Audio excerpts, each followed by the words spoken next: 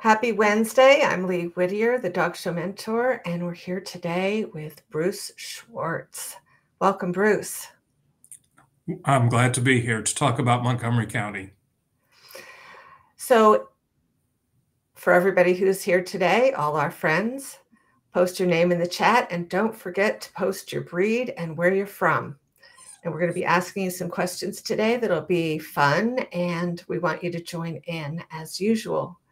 So, Bruce is president of Montgomery County Kennel Club. He's a longtime terrier man, probably a lifetime terrier man. We have seen some pictures of him showing miniature schnauzer when he was a youth.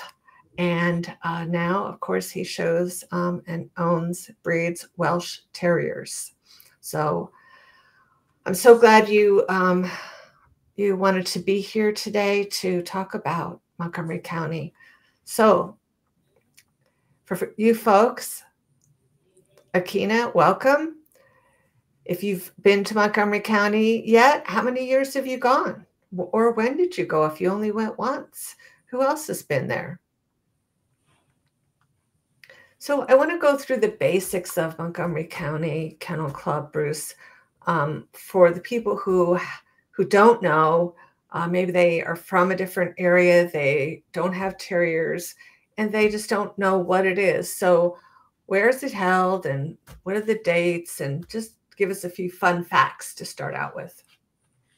Okay, so Montgomery County Kennel Club actually started out as an all breed show in 1911.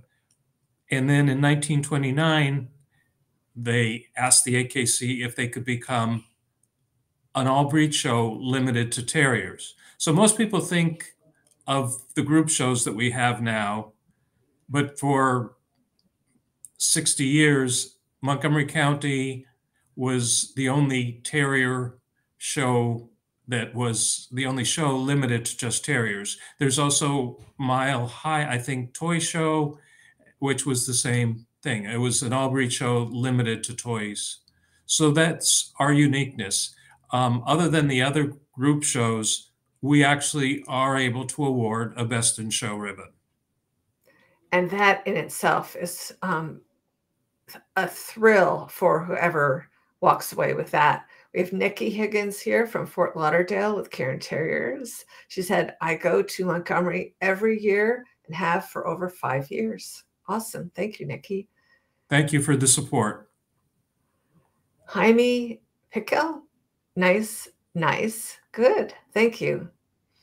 And so what, what makes Montgomery County special, in my opinion, is the support that we receive from the parent clubs of the terrier breeds. So this year, I think there are 23 parent club specialties. So these, most of them are national specialties. These are the one show a year that's designated by the breed club. Like, this is it. We have all our efforts, or many of our efforts, are put in as this is the highlight of their year for the particular breed. Um, they have sweepstakes, they have offsite events. Um, there, in addition to the conformation events, there are also performance events, which are specifically aimed at terriers in the region. So 23 national specialties. That that's amazing. And all those terriers in one place with the biggest entries. And people come from all over the world, don't they? How, how what is the farthest um, that someone has ever come that you know of? Well, let's see. Probably Russia, but they won't be here this year. But we do have a lot of people from some of the Eastern countries coming. And, um, you know, last year was very different because we had very, obviously, because of the pandemic, very few um, foreign visitors. We're certainly hopeful that we're going to have a lot more this year. So but I, I think the difference is like, uh, you know, probably second to Montgomery County is National Terrier in England. And I went there this year and it, it just, they don't have the same breadth of quality in all the terrier breeds like Montgomery County mm-hmm. has. And it's because so many of the parent clubs choose Montgomery County to have their yearly specialty. So that's really what makes Montgomery County unique. All these terrier clubs getting together because these terriers are unique. They don't tend to be big breeds with, you know, that we're not like labs that aren't going to have 800 dogs. So Montgomery County gives a place for all these breeds to have their national specialties.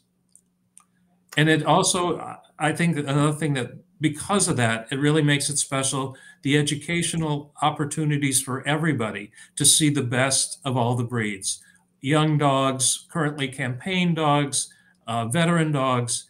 This is where all of our dogs want to be seen in terriers. Yeah, there's every level of individual can go there and learn. I remember when I first went, and I first went in 2006 or 2007, and I just wanted to learn about terriers. And I got really excited about seeing all these dogs. And I would sit ringside, and somebody would come up and chat with me who knew something about a breed. And before I knew it, I was on about this exciting uh, way to learn about about about terriers, and it's uh, certainly given me that excitement. We have um, 108 Cairn Terriers, according to Nikki, this year. And Thomas says, We're from Charleston, South Carolina, with West Highland White Terriers. We have been to many Montgomerys through the heat and cold, but always a very special place to be. Well, and we appreciate everybody accepting that the weather's going to be what it's going to be. and uh, you can be sure there's going to probably be a day where it's not going to be perfect fall weather. Well, uh, that's been my experience, and I've been there when it's 90 degrees, and and many times I've been there when we're we've got our our boots on and our raincoats on, umbrellas out, and um, it's it is just, but everyone stays in good humor and are just thrilled at the competition, getting to look at uh, new breeding stock, perhaps, and, and perhaps from a different country. Um, Nikki said that a couple years ago, her best of breed was from Japan. Um, Thomas says that Montgomery is the best place to catch up with friends from all over the US and overseas. I remember when I was watching Cairns a number of years ago, and it was just a deluge. And oh, and I was bemoaning the fact that uh, the Devon had been canceled, and so there were only uh, three days of shows. And the woman standing next to me um, said that she was from France, and I felt really uh, pretty silly for complaining of only coming 3,000 miles and she came across the ocean. So, um,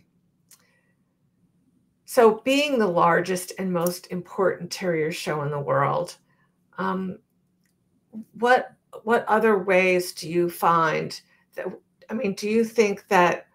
I mean, I think that everybody, every dog person, should go because I think it the whole culture it it's really about the terrier culture and what makes each terrier their own breed. Um, and that's what i think but i, I want to know what you think bruce. Do you think okay, everybody so should go? what i what i think is the great thing about montgomery county it's about breeders showing off their breeding stock. It's not about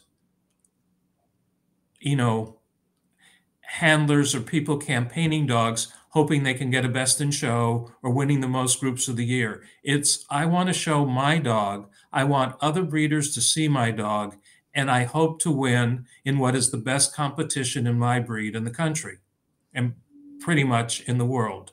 So I think that's what really makes it great. It's about breeders who are breeding terriers. They want to show off their dogs um, the sweepstakes are winning a sweepstakes is important.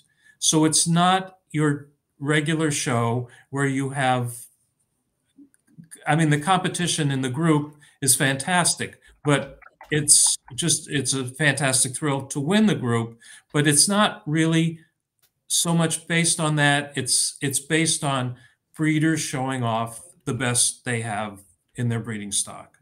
And I think that's what makes it great and that's what makes it unique.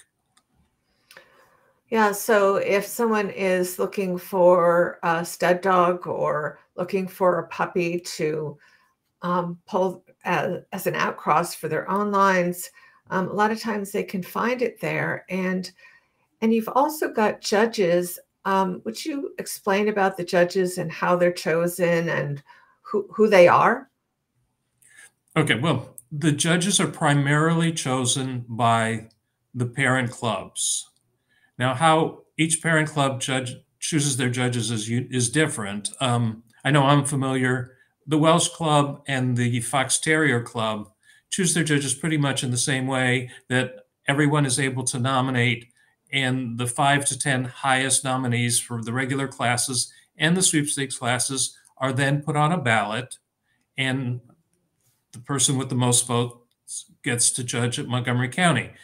Miniature Schnauzers does it the same way, and they actually allow the person to select the specialty they're going to judge. And I would say the top vote getter gets their first choice, and it's always Montgomery County because this is the largest entry and it's the most prestigious show. And it's, I think the other thing that's important is many of the terrier breeds. You take Airedale, if you, you take Welsh, Fox Terriers, and Lakelands I think in order to really understand one of the breeds, you have to know all three the nuances, the differences.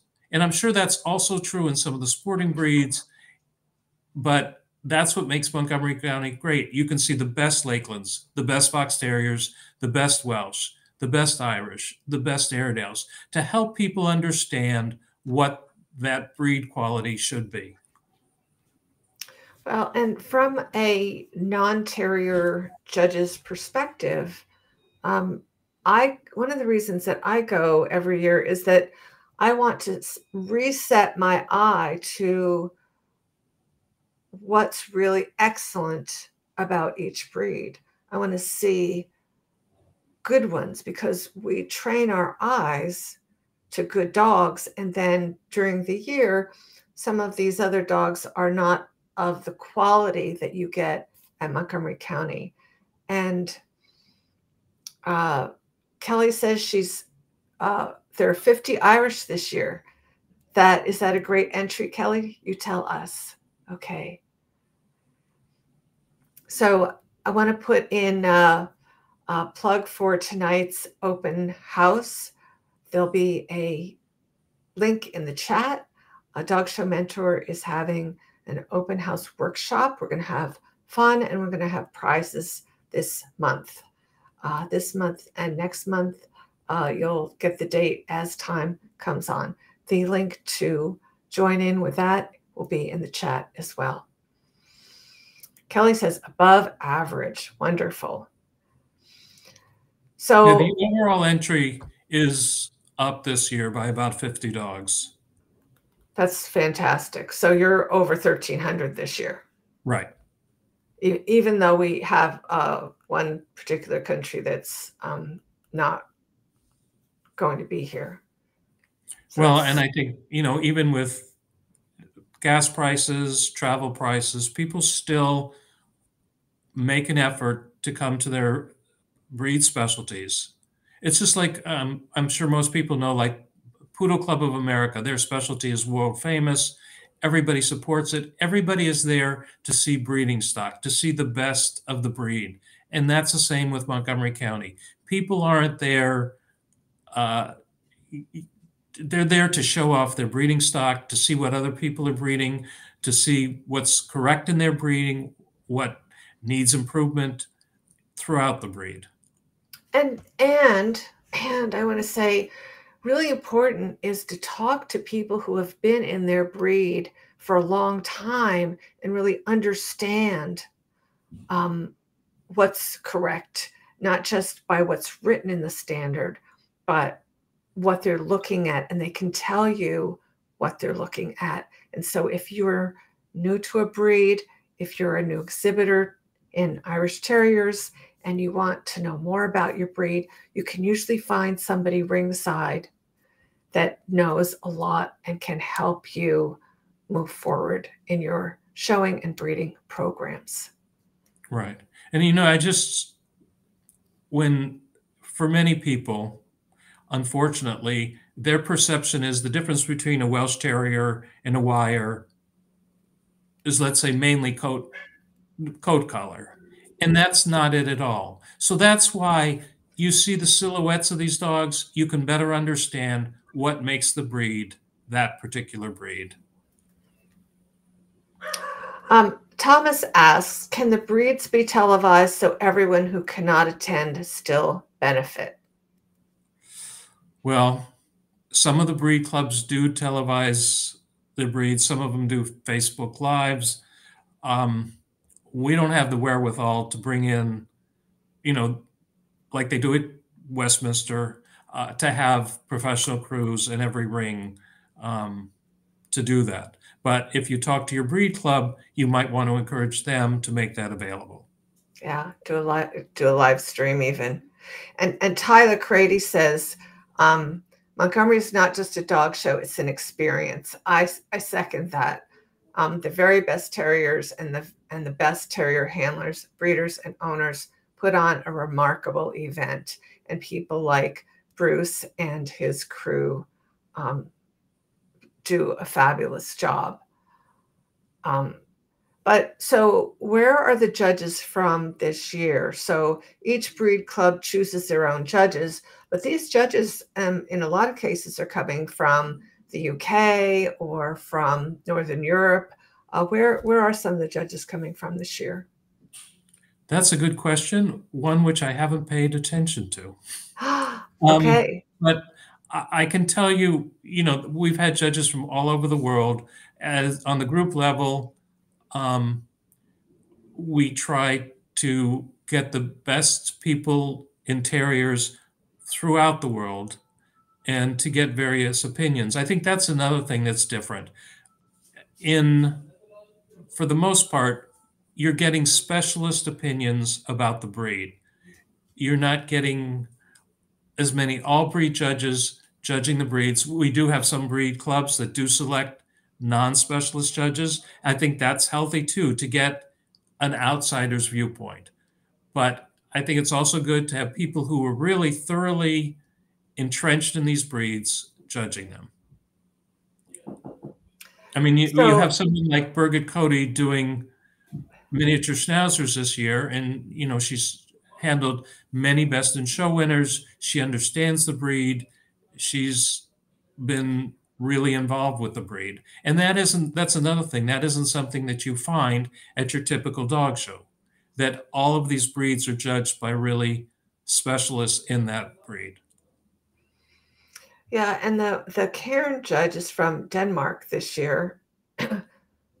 um, Tyler says fabulous point breed experts judging breeds. And the Lakeland judge is coming from Australia, Crystal says.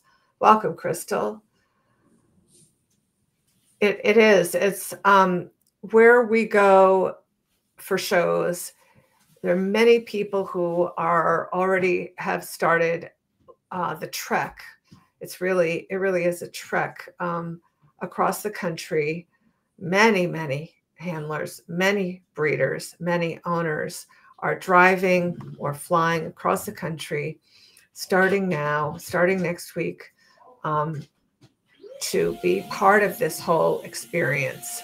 And it's, it's, um, yeah, for me, yes, exactly. Crystal and Tyler, it is an experience and it's amazing. And I love, I love setting foot on the grounds and, and feeling the electricity and the excitement. And everybody who's been going for a while sees people who they've gotten to know they only see them once a year. They only see them at Montgomery County. So it's also about relationships and people getting together and having uh, conversations about their breed. So it's it's it's watching their breeds, but it's also talking about them uh, with each other to see how they can improve. What are the what are the good trends and what are the not so good trends that are happening in the different breeds? Right. And and I think you just again I think the difference again is You have the specialists, and the emphasis is on breed type. It's not on the showmanship, which is more prevalent at all breed shows. It's really about which is the best dog that closely fits the standard for the breed. It, it's, you know, I said it's a, a trek, but it, it's almost a pilgrimage, isn't it? Well, yeah. I mean, it, it's also very much changed. When I first started showing dogs, handlers could fly with 10, 12 dogs, 15 dogs on a flight. And mm. that's another reason why many people are now driving, um, though that's no longer available. Yeah. So um, Kelly says that um, the Irish Terrier Club usually gets whoever has the most puppy people voting for their judge. Hopefully that will change. Well, you know, I, I can't say, Kelly, whether it will change or not, but that is something that happens in all breeds. And um, so some lucky judge gets to judge this whole entry of beautiful and high quality, beautifully presented, um, beautifully trained and groomed dogs. So, and, and I would say finally, as the last question, Bruce, um, and this is a little bit, you know, um, of a tricky question. Um, so, about terriers and grooming and trimming, um, how, does that differ? Is there like it seems to me that um, people start on their terriers everywhere from a year ahead to 12 weeks ahead, getting their, those coats uh, in condition. This is not something that just, oh, they give them a bath and take them into the ring. That these terrier coats have um, a lot of, of preparation time, the length of time it takes to get those coats just right. Can you talk about that a little bit? Because that's, I find that fascinating. Okay, I think that's one thing that's unique about terriers and terrier coats. You can't fool around. You can't say, oh, I don't feel like doing this. I'll wait till next week. The terrier coat requires constant care. You can't say, um, you know, I'm going to trim the dog. I'm going to let the hair grow up. Not that the other breeds don't require you to take care of the hair, but this requires constant plucking, constant grooming, constant trimming. And it's not, you have to be very dedicated to keeping on top of the coat. Uh, especially, you know, when I first started showing dogs, people would take the coat down, bring a new coat in, you know, show them eight, ten weeks, take the coat down. Most people are rolling coats now, and it requires you constantly have to work the coat to keep new, fresh, good quality hair coming in. And everybody's goal is to have their dogs in absolutely the best condition for Montgomery County. So, does the reason that the coats, you know, why why have they stopped? Why have they started rolling coats? I think I know the answer, but I, I just want to ask you. Well, it's very simple. They want to go to more dog shows. Okay, I mean, that's what I thought. Yeah. I mean, for points and for standings and ratings, you can't really be successful anymore if you're not campaigning the dog every week, you know, on a pretty regular basis. But the thing is, if you, if you decide, you know, if you slough off, you're going to just lose the coat. So that's what makes it different. Um, you can't say, oh, I don't feel like doing it this week. I'll wait till next week. Once you do that, you're going to lose the freshness of the coat, keeping the new good hair coming in. It is it is a totally different culture, the terrier culture. Um, we don't have much time left. Um, I will tell you that um, if you are dedicated and you are a dedicated dog person, uh, apply for Dog Show Mastery Program. Uh, the link to the application is in the chat. Um, if you're not sure whether you're dedicated um, or you're dedicated and you know that you want to do something uh, we have 90 days dreams to reality, the Jumpstart program. And um, if you're one of those people who's self motivated, uh, you can join the premium program and those links will be in the chat as well. So uh, we want we want to send you our news for Dog Mentor. So please um, go to our website and sign up for the newsletter. That'd be fantastic. We want to keep you up to date. So Bruce, as a closing note, if you could tell anybody anything, what would you tell them? When you come to a dog show, enjoy yourself whether you win or lose. Because if Great. you if you if you only are attending a dog show and your only pleasure is winning, it's not going to be very much fun in the long run. And I, I mean, I, I'm the first to admit it's a lot more fun to win than to lose. But however, there have to be other aspects. There have to be camaraderie, friendships, learning about your breed, learning about other breeds, experiencing things that are, are new or the same, but experiencing the, the dogs in a really positive way and, and learning and making them a part of your life. Well, as always, Bruce, I'm very touched by your words and your wisdom. And um, I greatly value that you came and um, did this for uh, all the dog show people. Well, I, I appreciate the opportunity because I really, I mean, uh, Montgomery County is my passion, and I do really think it's important that um, it's a great event that continues being great. Well, I'll second that. So um, thank every thank you everyone who's been here and contributed to the chat. Um, and I hope to see you next week. Um, so this is Lee Whittier, the Dog Show Mentor, signing off with Bruce Schwartz, Montgomery right. County Kennel Club. We Thank didn't you. get to talk about um, the logo, but we can talk about that another time.